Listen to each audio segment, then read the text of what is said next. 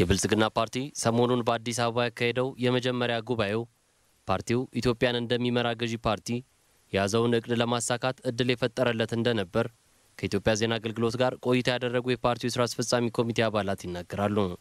በተለይም የፓርቲውን አመራሮች ለመምረጥ የነበረው የጉባኤተኛው ተሳትፎና የምርጫ ሂደቱ ግልጽነት ለሌሎች ፓርቲዎችም ትምህርት ሊሰጥ የሚችል ነው ብለዋል። በጣም እጅግ ዲሞክራሲያዊ ነው ብለን ነው የምንወስደው።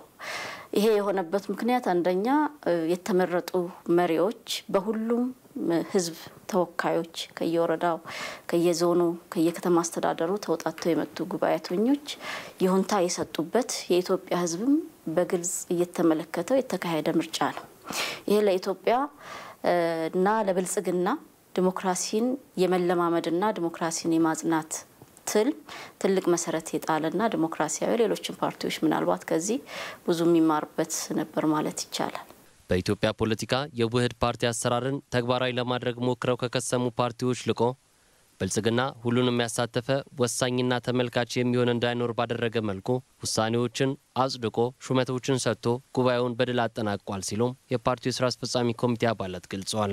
በተለየ መንገድ ሁሉም ብሔር ብሔረሰቦች ውስጥ የተወከሉ የብልጽግና ፓርቲ አባላት አንደኛቸው ተመልካች፣ ሌላኛቸው ደግሞ አድራጊና መሪ ሳይሆኑ ሁሉም የተሳተፉበት በጋራ ድምጻቸው የሚከበርበት የጋራ መሪዎች የመረጥንበት አንድነታችን የምናስቀጥልበት መሰረት የጣልንበት ታላቅ ጉባኤ ነው ማለት ይቻላልና ብልጽግና በዚህ በኩል እስካሁን በኢትዮጵያ እንደ ክስተት ብቅ ብሎ የጠፉ ፓርቲዎች ያላሳኩትን ትልቅ ነገር ያሳካው ድል ነው ብሎ መውሰድ ይቻላል። በአመራር ምርጫ ሂደቱ ህዝቡ ከሚጠብቀውና ከሚጠይቀው የመልማት ጥያቄ አንጻር ሊቀጥሉ የማይገባቸውን ከአመራርነት በማንሳት ለአዳዲስና ወጣት አመራሮች እድል የሰጠ የምርጫ ሂደት እንደነበርም አንስተዋል።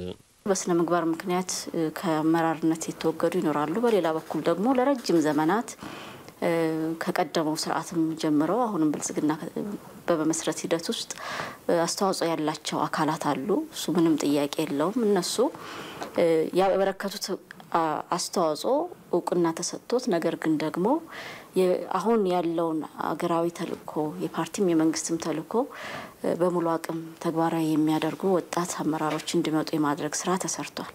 ፓርቲው በቀጣይ የህዝቡን ጥያቄ እንዲመልሱ የወሰናቸውን ውሳኔዎች ወደ መሬት ማውረድና በተግባር መግለጥ ላይ አተኩሮ እንደሚሰራ ይዜ ያነጋግራቸው የብልጽግና ፓርቲ ስራ አስፈጻሚ ኮሚቴ አባላት ገልጸዋል።